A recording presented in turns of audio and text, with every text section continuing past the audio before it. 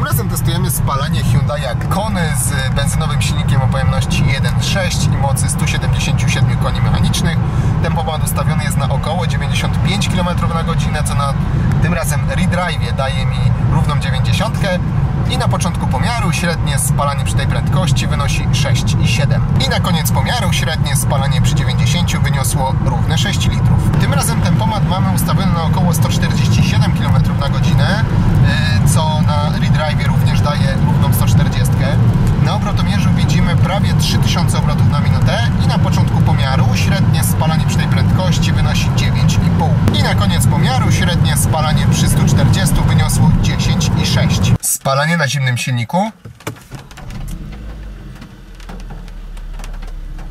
Po pierwszym kilometrze 15,2. Po dwóch kilometrach 14,2.